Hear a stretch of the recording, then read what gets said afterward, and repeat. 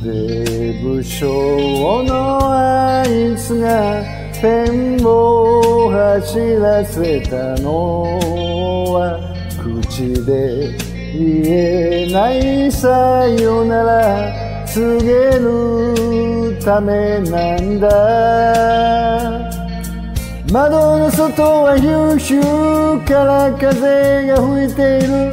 あいつは君を愛せない。また一つの恋破れて落ちてく。女は悲しいね。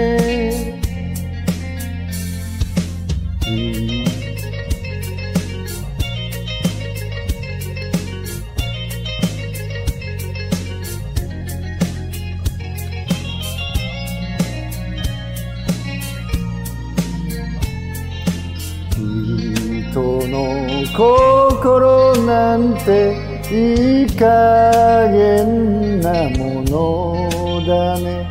君よりもあの子を選んだ愚か者。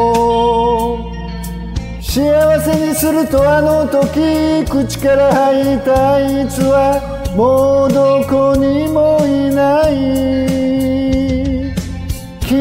が出て行ったすぐその後にカーテンの色変わってた。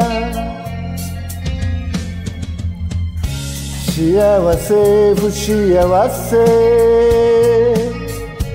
手のひら返すように信じ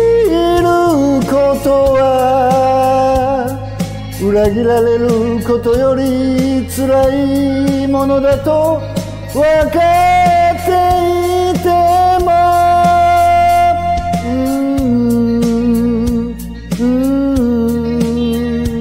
うん。信じること裏切られることより辛いものだと分か